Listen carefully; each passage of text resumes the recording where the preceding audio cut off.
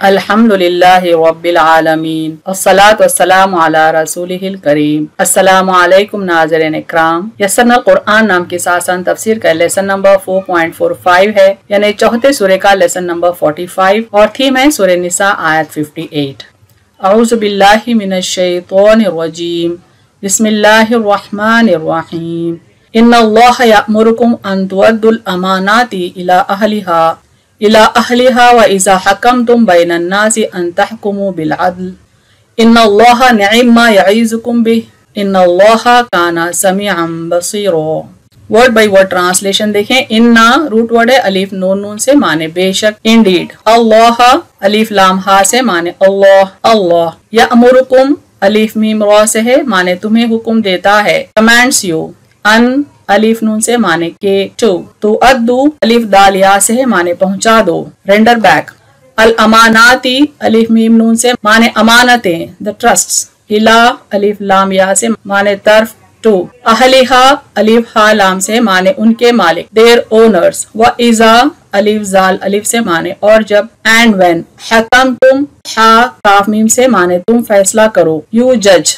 बैना, बा या नून से माने दरमियान। बिटवीन अन्नासी नून वाव सीन से माने लोग द पीपल अन अलीफ नून से माने तो टू तहकुमु हा काफ मीम से माने तुम फैसला करो यू जज बिल अदल आइन दाल लाम से माने इंसाफ के साथ विथ जस्टिस इन्ना अलीफ नून नून से माने बेशक इंडीड अल्लाह अलीफ लाम हा से माने अल्लाह अल्लाह निम्मा नून आइन मीम से माने अच्छी एक्सलेंटली यईजुकुम वाव आइन से है, माने नसीहत करता है तुम्हें एडवाइजर्स यू भी बा से माने इससे विथ इट इन्ना अलीफ, नून नून से माने बेशक इंडीड अल्लाह, अलीफ, लाम, हा से माने अल्लाह अल्लाह. काना, काफ, वाव, नून से माने है इस समिया सीन, मीम आइन से माने सुनने वाला. ऑल हियरिंग बसीर, बा सौत रा से माने देखने वाला. All Singh phrase by phrase translation Urdu में देखें. इन मुरुकुम बेशक अल्लाह तुम्हें हुक्म देता है।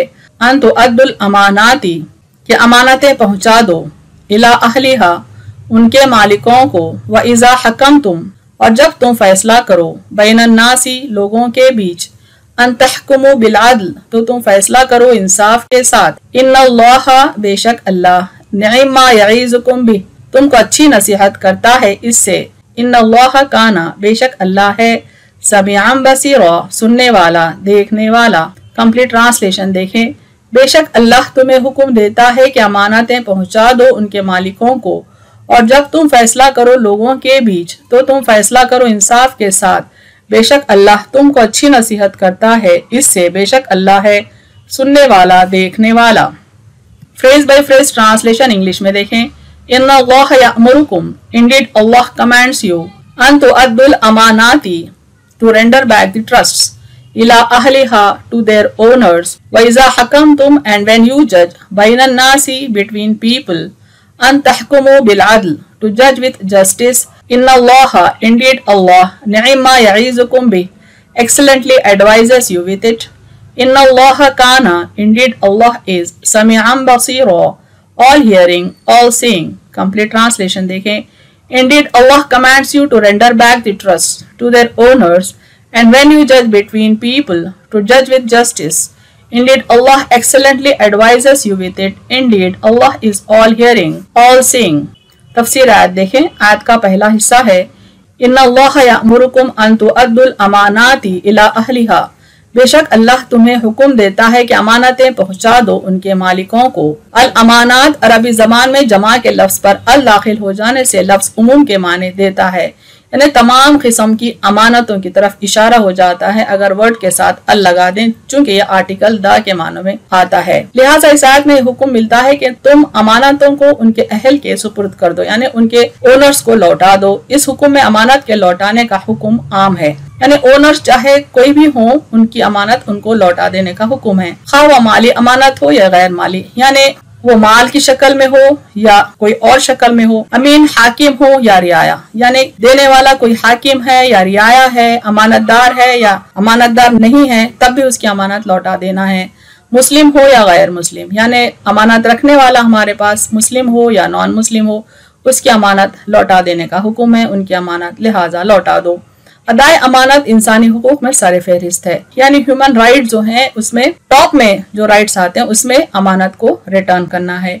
ये उम्मत मुस्लिमा की ज़िम्मेदारी है। यानी मुसलमानों के ऊपर यह ज़िम्मेदारी है कि अमानतों को लौटा दें। और उम्मत मोहम्मदिया का अखलाकी व हकूक इंसानी का दस्तूर है। यानी आप की उम्मत पर यह अखलाकी फरीजा है।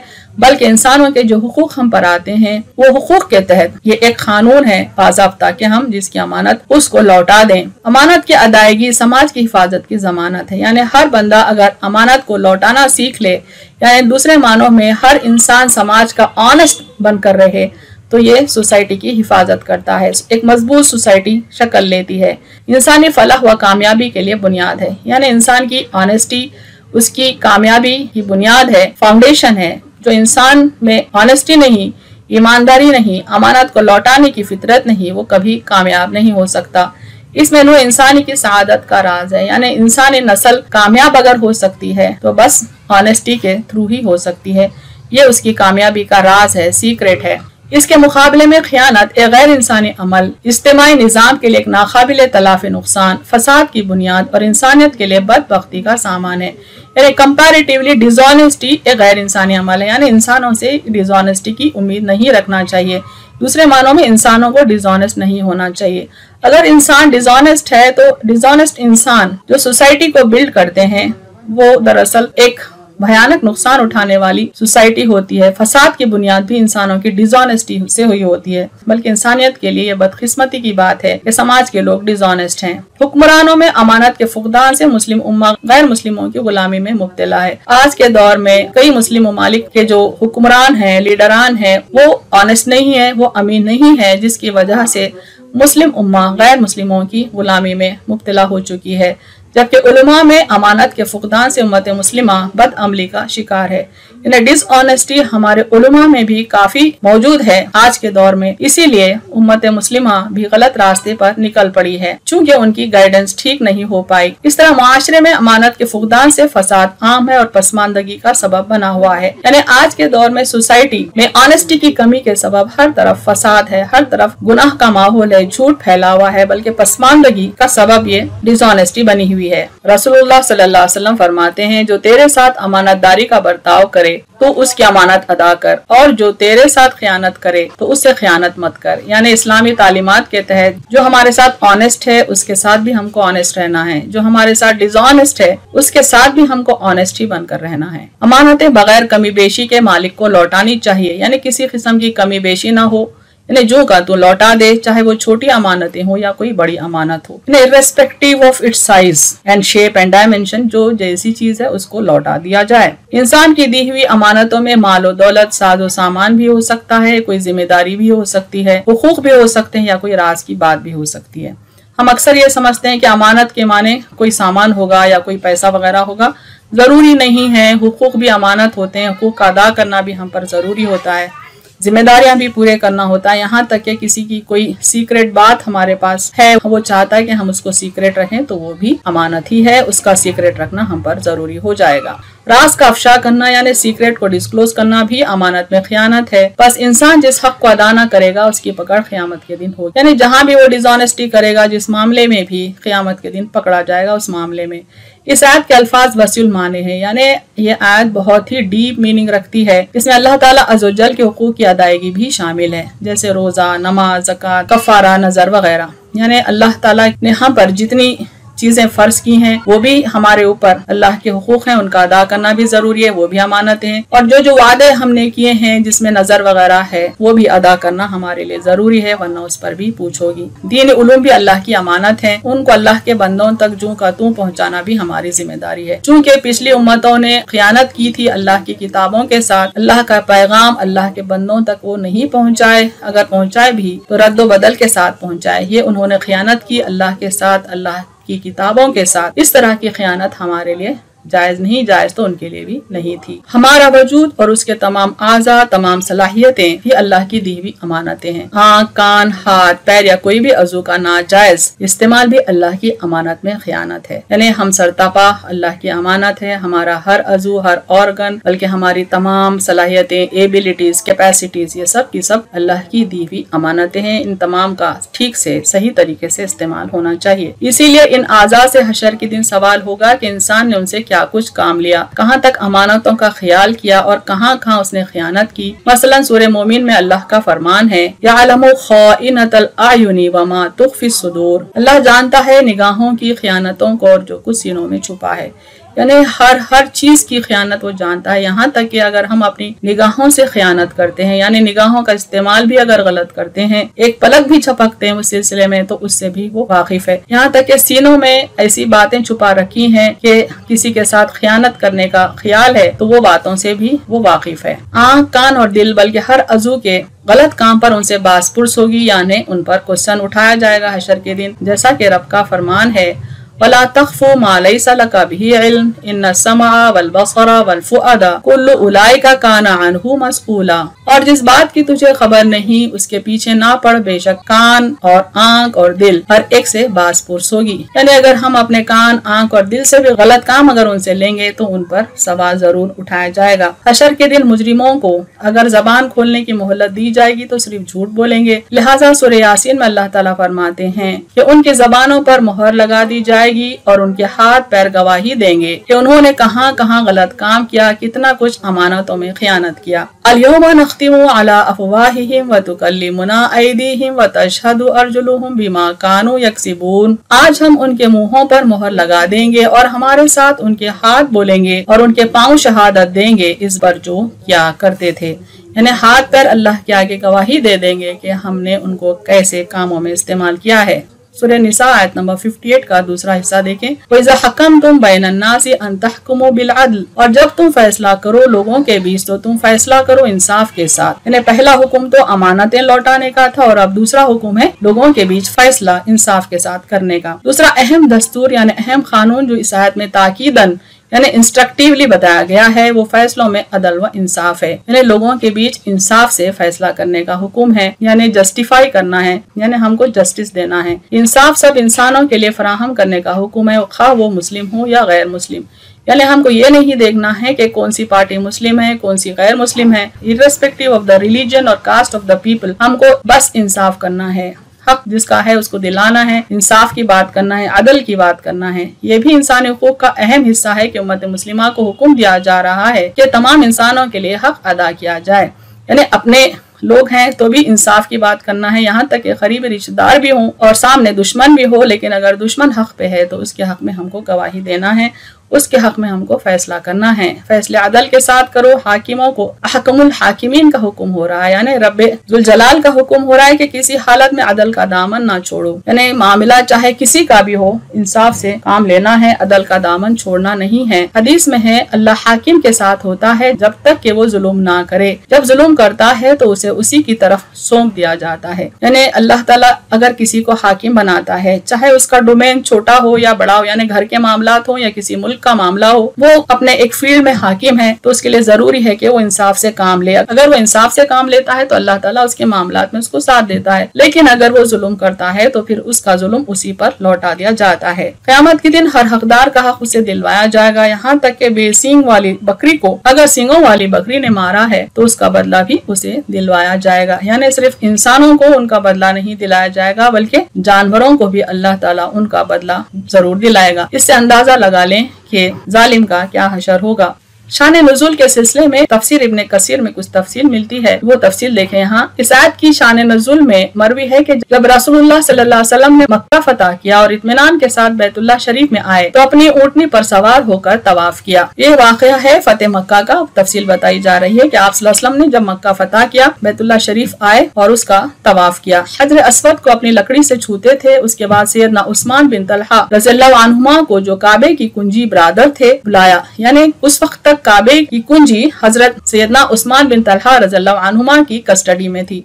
यानी उनका खानदान हज़रत इब्राहिम अलैहिस्सलाम के दौर से काबे की देखभाल करता था। वो काबे के मुतवली थे। उनको बुलाया, उनसे कुंजी तलब की उन्होंने देना चाहा। इतने में सैदना अब्बास रजील्ला ने कहा, या रसूल अल्लाह वसल्लम, अब ये मुझे सौंपिए ताकि मेरे घराने में जमजम का पानी पिलाना और काबे की कुंजी रखना दोनों ही बातें रहे। ये सुनते ही सैदना उस्मान बिन तलहा रजील्ला ने अपना हाथ रोक लिया। नबी करीम वसल्लम ने दोबारा तलब की। फिर वही वाकया हुआ। आपने सेबारा तलब की। सैदना उस्मान रजील्ला ने ये कहकर दे दी की अल्लाह की अमानत आपको देता हूँ। नबी करीम सल्लाम काबे का दरवाज़ा खोल कर अंदर गए। वहाँ जितने बुत और तस्वीरें थी, सब तोड़ कर फेंक फेंक दी। इब्राहिम अलैहिस्सलाम का बुत भी था। जिसके हाथ में फाल के तीर थे, आप ने फरमाया, अल्लाह इन मुशरकिन को गारत करे, भला खलील्लाह को इन तीरों से क्या सरोकार फिर उन तमाम चीज़ों को बर्बाद करके उनकी जगह पानी डालकर उनके नाम व निशान मिटाकर आप बाहर आए। काबे के दरवाजे पर खड़े होकर आपने कहा कोई मबूद नहीं बजस अल्लाह के। वो अकेला है जिसका कोई शरीक नहीं।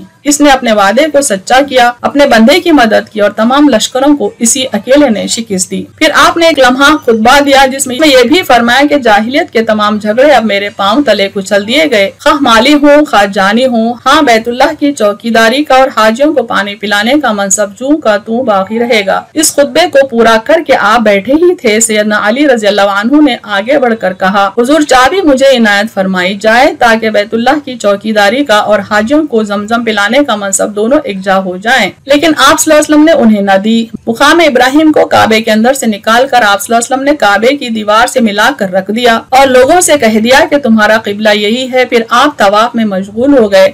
अभी वो चंद फेरे ही फेरे थे। जिब्राइल इस्लाम नाजिल हुए और आपने अपनी जबान मुबारक से इस आयत की तिलावत शुरू की। इस पर सैदना उमर रज़ी ने फरमाया, मेरे माँ बाप नबी करीम सल्लल्लाहु अलैहि वसल्लम पर फिदा हूँ। मैंने तो इससे पहले आपको इस आयत की तिलावत करते नहीं सुना। अब आपने सैदना उस्मान बिन तलहा रज़ी रजील्ला को बुलाया और उन्हें कुंजी सौंप दी और फरमाया, आज का दिन वफा का, नेकी और सलूक का दिन है। यानी चूँकि हज़रत सैदना उस्मान बिन तलहा रजील्ला का खानदान हज़रत इब्राहिम अलैहिस्सलाम के दौर से काबे की देखभाल करता हुआ आया था। इसलिए आप ने उनकी अमानत, जो कि काबे की कुंजी थी, उन्हीं को लौटा दी। ये वही सैदना उस्मान बिन तलहा रजील्ला है, जिनकी नस्ल में आज तक काबतुल्लाह की कुंजी चली आ रही है। अहम नुकात देखे इस तफसीर के इस्लामी तालीमत में अदाय अमानत और अदालत का क्याम बुनियादी इंसानी हकूक में से है। इसमें मुस्लिम गैर मुस्लिम सब बराबर हैं। अदाय अमानत के लिए इला अहलिहा और अदालत के लिए बैन नासी की उमूमियत इस पर शायद है।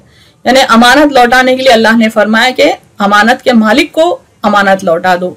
चाहे वो कोई मज़हब का हो, कोई दीन की इतवा करने वाला हो, कोई कास्ट रखने वाला हो, किसी भी नेशन का हो उसकी अमानत उसको लौटा देने का हुक्म है। इसी तरह जब अदालत कायम करने का हुक्म है, फैसला करने का हुक्म है तो अल्लाह ने फरमाया बैन नास लोगों के बीच इंसाफ के साथ फैसला करो। यहाँ पर भी बैन नास कहा गया। नाज यानी तमाम लोगों का ज़िक्र आया है, चाहे वो कोई मज़हब के हों, कोई कौम के हों, कोई नेशन के हों, कोई कास्ट के हों। अमानत व अदालत की पाबंदी का हुक्म अल्लाह के नज़दीक मुनासिब तरीन नसीहत है। इन भी बेशक अल्लाह तुमको अच्छी नसीहत करता है इससे। यानी अल्लाह तला के कवानीन इंसानियत के लिए बेहतरीन है। न सिर्फ़ मुसलमानों के लिए इसमें सुकून, अमन और शांति है, बल्कि सारी दुनिया के लिए ये दिन एक अमन का पैगाम लाया है। हम किस कदर अमानतों का पास रखते हैं और मामलात में इंसाफ करते हैं, ये सुनने और देखने वाला अल्लाह हम पर हमेशा हर वक्त मौजूद है। काना समियाम बसीरा, बेशक अल्लाह है सुनने वाला, देखने वाला। यानी हमारी मुसलसिल अल्लाह की तरफ़ से निगरानी हो रही है ये देखने के लिए कि क्या हम अमानतों के मामले में ऑनेस्ट हैं या नहीं, और क्या हम फैसला करने के मामलों में लोगों के साथ इंसाफ करते हैं या नहीं।